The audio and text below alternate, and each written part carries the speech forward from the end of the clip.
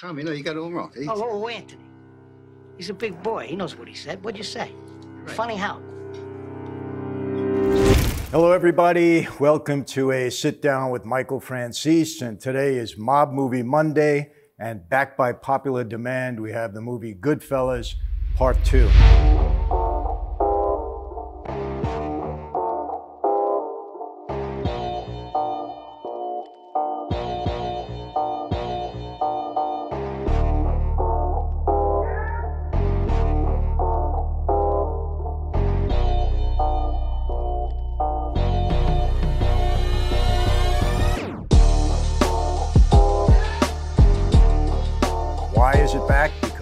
So many comments after we did part one. It just had to be another one, part two. And everybody was telling me, Michael, you didn't do it long enough. We can do a whole hour and a half. And well, if we're going to do an hour and a half, I suggest you go watch the entire movie. It's probably better than listening to me. But um, we're going to get into it a little bit more. Last time we did uh, part one, I really focused on some of the characters in the movie and um, you know the main characters. And today we're going to go through some of the scenes. But before I do that, I have to answer a question because everybody's driving me crazy. Michael, when is there going to be a movie on your life? You got to get Scorsese, you got to get Pileggi. I explained this once or twice, but we have a lot of new subscribers just tuning in for the first time. Right now, there is a movie based upon my life that is not a movie, I'm sorry, a television series based upon my life with a major production company, big time writer. It's in active development. I can't mention the name. I'm not at liberty to do that at this point in time, but I'm pretty sure by next year it'll be going into production. You'll be hearing all about it at the right time. They'll make an announcement and then you'll know everything about it. I'm very excited about it. I think they're doing a great job in the development process. I'm working with them. Uh, so uh, just look forward to that. So hopefully I've answered that for everybody.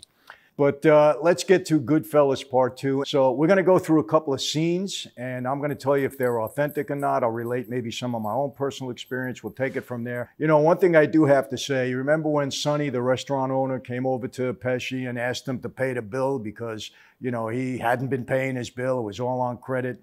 I've seen that happen. Now, I'm going to be honest with you.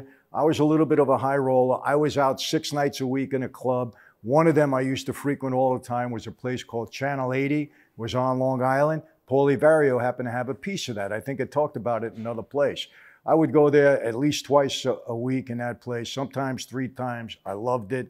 I wish I had the money back that I spent because I'd bring my whole crew up there. Normally I was paying the tab. I wish I had the money back that I spent. So yeah, when you're spending money, they love for you to come around. But uh, anyway, that was a funny scene. Um, it is quite accurate. Some guys are, you know, they expected, hey, I'm a made guy. I don't have to pay the tab. People didn't like that. You know, you don't get a good reputation when you do something like that. So Tommy DeSimone, I don't know if that scene is exactly accurate. If he did have a tab there, I don't know. He seems like the kind of guy that could have been that way. You know, he was kind of a loose cannon, thought who the heck he was in some ways. He wasn't a made guy. Uh, but he seems like kind of guy that can do that. So that could have that was a pretty accurate scene.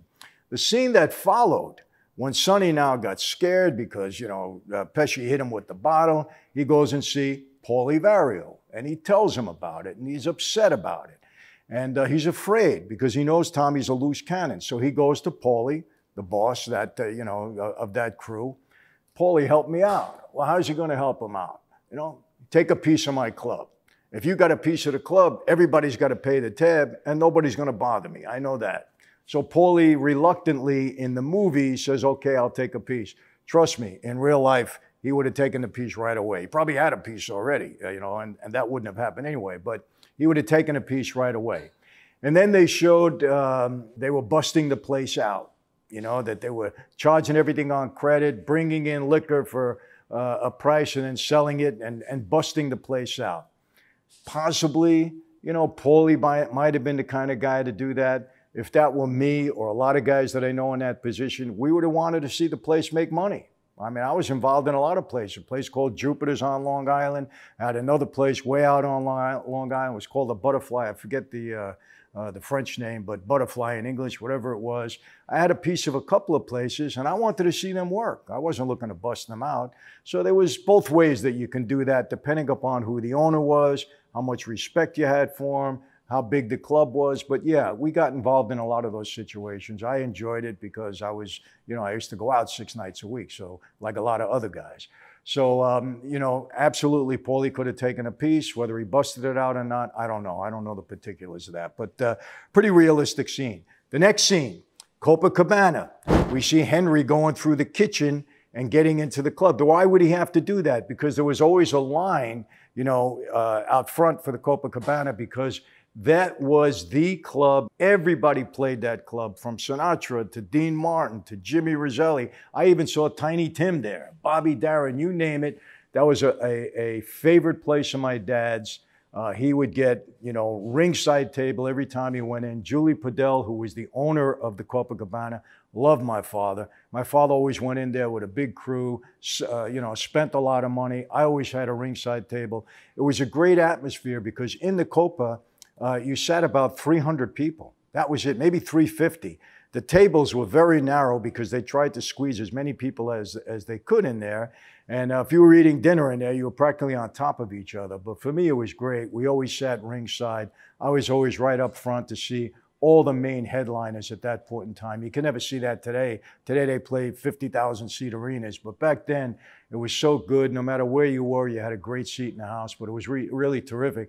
I'll tell you one thing I pulled on my dad once. Uh, you know, it was, uh, I believe it was my, I, I can't remember, was my, my senior prom or my graduation.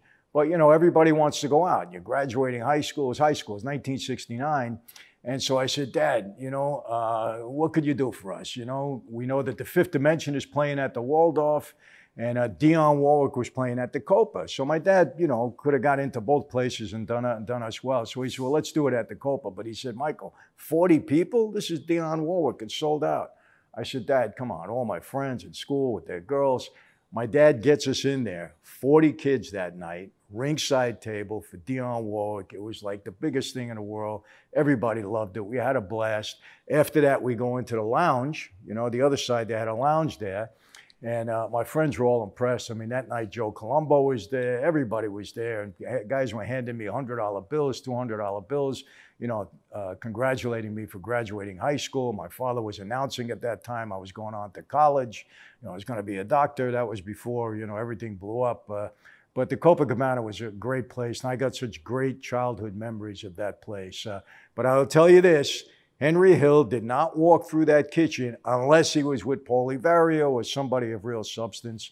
Henry, again, a poor soul. I don't like to say anything negative stuff about him. It was a great movie, and it, you know, it, it served its purpose. But he just wasn't the guy that was portrayed that he was portrayed to be in that movie. He never looked so good as he did in that movie. Anyway, so that's it. Let's move on. When Henry got married, you know, that scene, it just reminded me weddings and funerals. When you're a made guy, people always tell you there was times that I had to go to three weddings in a weekend and maybe two funerals. You're a made guy, you know, you, you get a call from the boss or your capo or whatever. Hey, somebody's getting married, you got to come. And when I was a capo, I would uh, I would call up and I would say, "How many guys do you need there?" I'll bring three or four guys and make sure they got their envelopes. And we would sit at a table. It was all the guys. Half the time we didn't know who was getting married. And if somebody died, we didn't know who died. But we had to be respectful to the made guy, who's ever it was, you know, whose daughter or son was getting married. And, you know, God forbid a family member was, uh, was uh, passed away. So weddings and funerals, you know, so often throughout the month uh, on weekends, that's where I had to spend my time. It was just a thing. Another scene, and I've been asked about this all the time, is the... Um, the scene in the prison when all the guys were together and they were eating. I'm going to tell you this. That's a highly exaggerated scene. I've said this once before, and people came back to me and said, No, Michael, it was accurate. And I asked them, Well, were you there? How do you know it was accurate? That was, that was a highly exaggerated scene. I will tell you this in federal prison, that would never happen. You don't ever have that kind of a setup in federal prison. Did we eat better? I know I spent eight years. My dad spent 40, so I know exactly what was going on there.